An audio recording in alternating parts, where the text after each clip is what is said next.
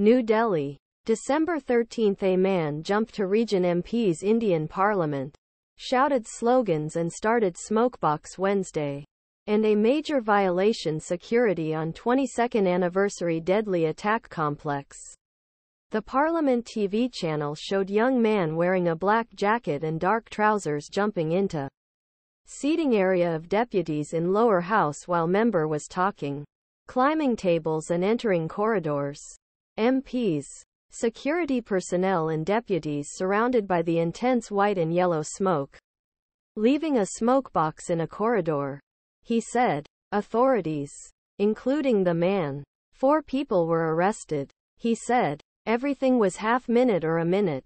Deputy of ruling Bharatiya Janata Party Rajendra Agarwal, CNN News 18 TV channel, told visitors in gallery of second person gallery adding region trying to jump region. MPs said that they were shouting slogans that the indispensable guest could not do and there was a sound and some smoke. Prime Minister Narendra Modi was not in parliament at the time. MPs shaken Trinamool Congress Party Deputy Sudip Bandyopadhyay in minority shares of the Memorial News Agency. Maybe something to explode. I was expecting to shoot somewhere, said 13 A man jumps to area of deputies in lower house of Indian Parliament in India on December 13, 2023. This is a serious security jump. How did they enter? Smoke. They make a sound. He said. The lower house stopped the operations shortly after the incident, but continued to work about an hour later. Speaker Om Birla said that investigations were released by the man. Smoke was ordinary smoke, just caused it to be heard. There was no explanation of government or law enforcement officers. The incident occurred in May in the new high security parliament building opened by Modi.